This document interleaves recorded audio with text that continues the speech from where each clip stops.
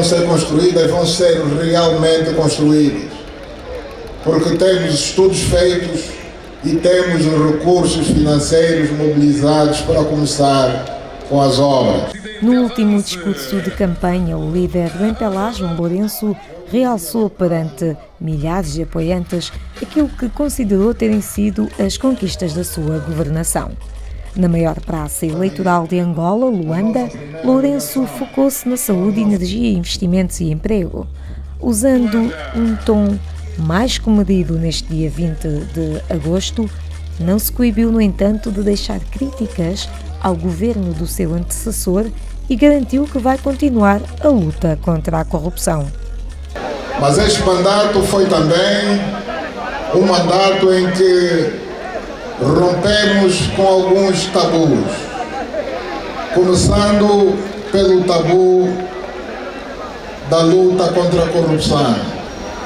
O executivo do MPLA durante este mandato quebrou também com o tabu da privatização dos ativos públicos, dos ativos do Estado,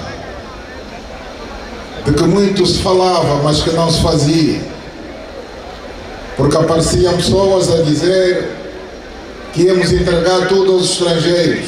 Durante muitos anos, a política, não tanto de extração, mas sobretudo de comercialização dos nossos diamantes, não atraía os investidores.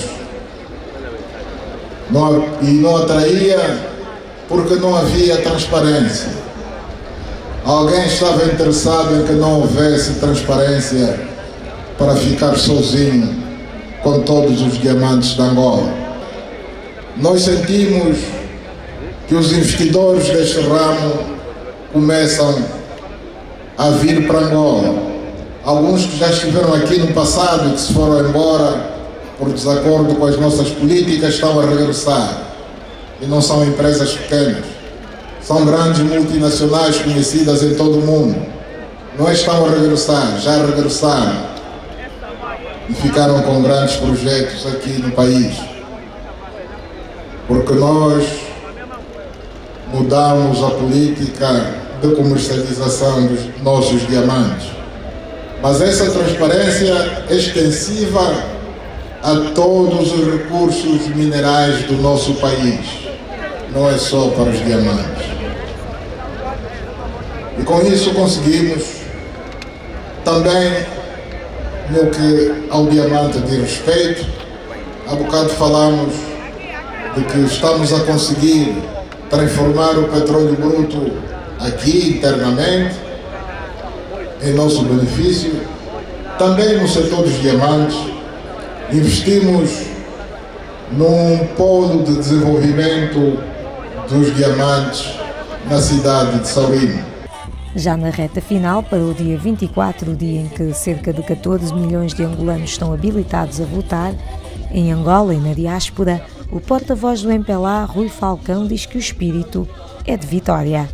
Este é o 26 ano que a nossa comissão organiza.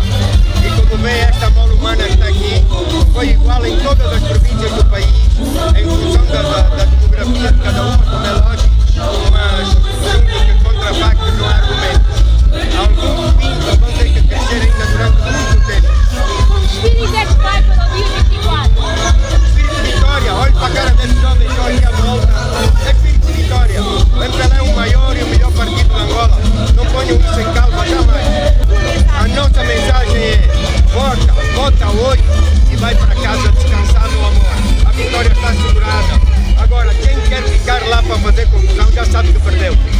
O espírito.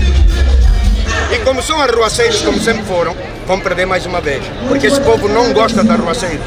Sobre a chegada dos restos mortais do antigo presidente José Eduardo dos Santos a Luanda, também neste sábado, dia 20, Rui Falcão garantiu que o MPLA cuida dos seus. Mesmo amor com que reagimos quando soubemos do passamento físico. É uma entidade de Estado, será tratada como entidade de Estado com maior respeito e o MPLA para que os seus militantes honrem a memória daquele que foi nosso líder durante 38 anos. Já tem data para o de Estado? Eu acredito que seja na, depois das eleições, talvez por, por volta do dia 28. Mas naturalmente haverá um programa anterior a isso. Para marcar o aniversário da sua dia 28, dia... Já viu como escola rápido? Angola é assim, a pioneira foi a 10 de dezembro e nós tratamos do, assunto até dia 22. Aqui desce.